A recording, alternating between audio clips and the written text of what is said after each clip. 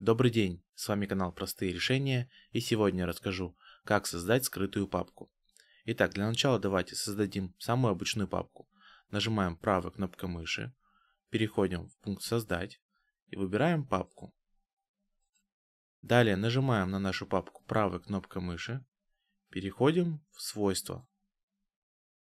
Затем нам нужно перейти в вкладку «Общие» и здесь ставим галочку «Скрытый». Нажимаем ОК. Как видите, папка стала полупрозрачной, но она у нас почему-то все еще видна. Для того, чтобы убрать отображение скрытых а, папок и файлов, нам нужно зайти во вкладку «Вид», дальше перейти в «Параметры», нажать на «Изменить параметры папок и поиска». Далее переходим во вкладку «Вид» и листаем все до самого конца. Здесь нужно в пункте «Скрыть файлы и папки, выбрать «Не показывать скрытые файлы, папки и диски». Нажимаем ОК, и как вы видите, у нас исчезла наша папка.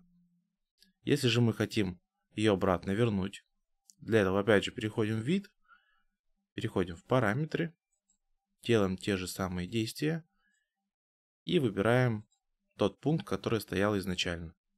Нажимаем ОК, и как видите, наша папка появилась.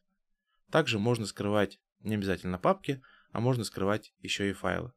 Ну а если это видео вам понравилось, ставь лайк и подписывайся на канал «Простые решения».